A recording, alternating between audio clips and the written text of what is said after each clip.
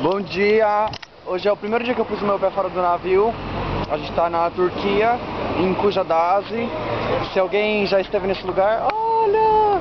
Lembra? Quem não teve, então vai ver o vídeo. A última vez que eu estive aqui, eu estava com meu amor.